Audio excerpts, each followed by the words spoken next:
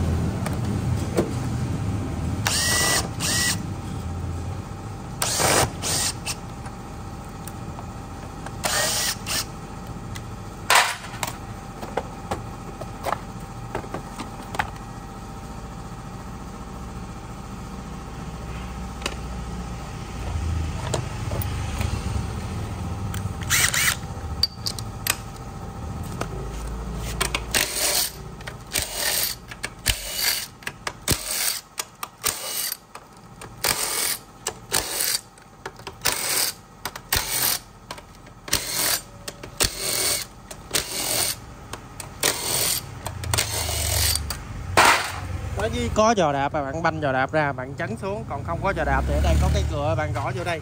Những xe không có giò đạp thì gõ vô đây, còn xe có giò đạp bạn banh giò đạp ra nha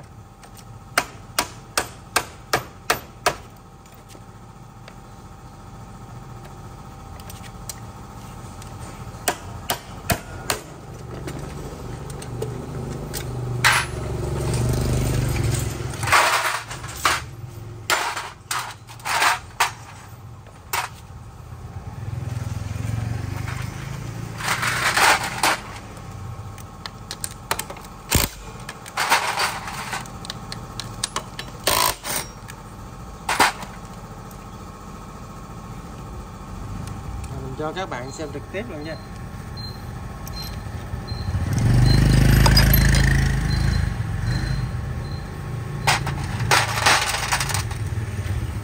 Nhớ những cái mảnh này là gáp phải đúng từng bộ phận với nhau nha các bạn.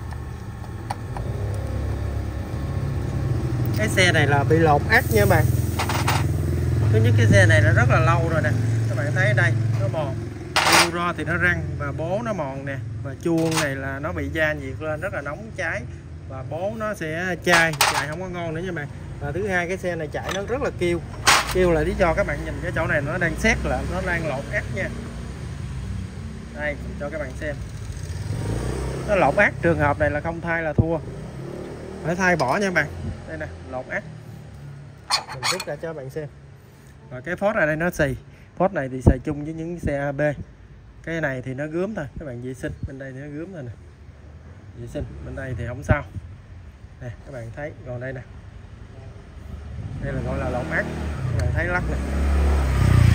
Các bạn thấy nó xét nè.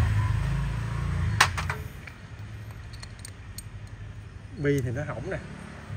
Đó, mình quay mình đánh trực tiếp qua cho Zalo, cho khách luôn. Chắc ăn nha mày. Dù có gửi xe lại thì cũng an tâm nha mày. Thì nguyên bộ nồi này coi như rớt hết như cu ro, các bạn thấy nè. Như cu ro thì mình phải bẻ hơi hơi cái bụng lên mình coi.